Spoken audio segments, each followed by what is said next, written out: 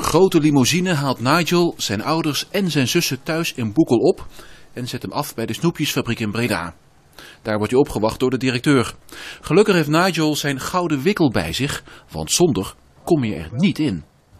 Hoi, ik ben Ruud de Jong, directeur van de fabriek. Kijk, het golden ticket heeft hij al bij.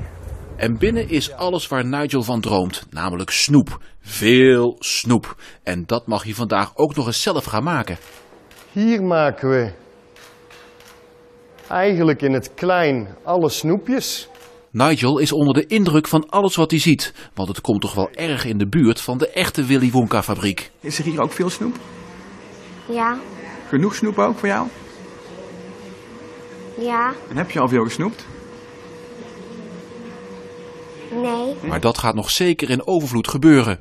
Maar hoe leuk het vandaag ook is, de reden dat hij hier is, is minder leuk. Uh, hij heeft acute lymfatische leukemie. Dat hebben we twaalf weken geleden te horen gekregen.